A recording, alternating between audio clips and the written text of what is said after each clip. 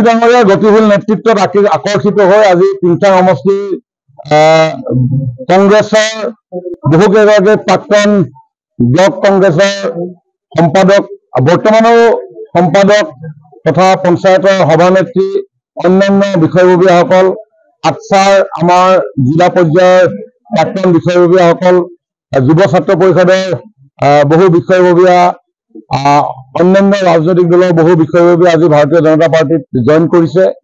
তেওঁলোকৰ উদ্দেশ্য এটাই যে যোৱা চাৰে নটা বছৰ কেন্দ্ৰীয় চৰকাৰ আৰু চাৰে সাতটা বছৰ ৰাজ্য চৰকাৰৰ নেতৃত্বত যেনেধৰণে আমাৰ এই অঞ্চল উন্নয়নৰ দিশে আগুৱাই গৈছে তেখেতসকলৰ অনুভৱ এটা আগন্তুক দিনত আৰু শক্তিশালীভাৱে তৃতীয়বাৰৰ কাৰণে প্ৰধানমন্ত্ৰীৰ আসনত নৰেন্দ্ৰ মোদী ডাঙৰীয়া অধিষ্ঠিত হৈ এখন বিকশিত শক্তিশালী ৰাষ্ট্ৰৰ স্বাভিমানী নাগৰিক হিচাপে জীয়াই বাবে যাতে পৰিৱেশ পাব পাৰে তাৰ কাৰণে সকলোৱে হাতে হাত ধৰি ভাৰতীয় জনতা পাৰ্টীৰ হাত শক্তিশালী কৰিবৰ কাৰণে তেওঁলোকে আগবাঢ়ি আহিছে আৰু তেওঁলোকে অনুভৱ কৰিছে যে কংগ্ৰেছ ভাৰ্চেছ বিজেপিৰ ইলেকশ্যন এবাৰ হ'ব।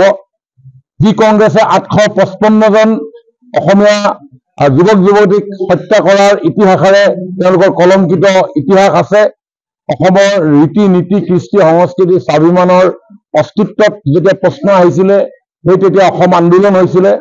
আৰু সদৌ অসম ছাত্ৰ সন্থাৰ নেতৃত্বত হোৱা আন্দোলনে যেতিয়া সমগ্ৰ অসমীয়া জাতীয় জীৱন সেই ক্ষেত্ৰত একেলগে আগবাঢ়ি গৈছিলে সেই সময়তেই কংগ্ৰেছে আঠশ পঁচপন্নজন ব্যক্তিক তেওঁলোকে হত্যা কৰি জাতীয় স্বাভিমানৰ মষিমূৰ কৰিবৰ কাৰণে প্ৰয়াস চলাইছিল।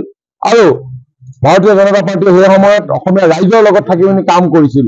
অটল বিহাৰী বাজপেয়ী ডাঙৰীয়া সেইটো সময়ত আন্দোলনকাৰীসকলৰ লগত একেলগে বহি ভাৰতীয় জনতা পাৰ্টীয়ে সমৰ্থন ব্যক্ত কৰিছে আৰু পৰৱৰ্তী সময়ত এই ভাৰতীয় জনতা পাৰ্টীয়ে যেতিয়া দায়িত্ব ললে সমগ্ৰ অসমৰ বিকাশৰ দিশে আজি কাম কৰি আছে। জাতীয়তাবাদৰ চিন্তাই আজি ভাৰতীয় জনতা পাৰ্টী কাম কৰিছে। আৰু অন্যহাতে কংগ্ৰেছৰ নেতৃত্বত যিসমূহ ৰাজনীতি হৈ আছে যোৱা দিনবিলাকত তাত প্ৰতাৰণাৰ বাহিৰে একো নাই। আৰু এতিয়া এইবাৰ ইলেকশ্যনত সকলোৱে অনুভৱ কৰিছে যে কংগ্ৰেছৰ লগত লগ লাগি কিছু মিছা কথা কোৱা দল একেলগ লাগিলেও ইলেকশ্যনত অৱতীৰ্ণ হৈছে।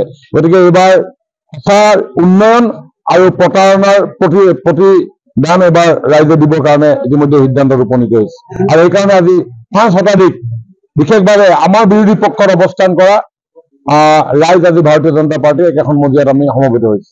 বিশাল সংখ্যক ভোটত জিকিম কাৰণ আমি ভাৰতীয় জনতা পাৰ্টী এতিয়ালৈকে আমি কেম্পেইনিঙে আৰম্ভ কৰা নাই। যেতিয়া ফিল্ডলৈ আগুৱাই যাম যেতিয়া আমি জনসাধাৰণৰ কাষলৈ যাম নিশ্চয় এটা অভূতপূৰ্ব পৰিৱেশ সৃষ্টি হ'ব।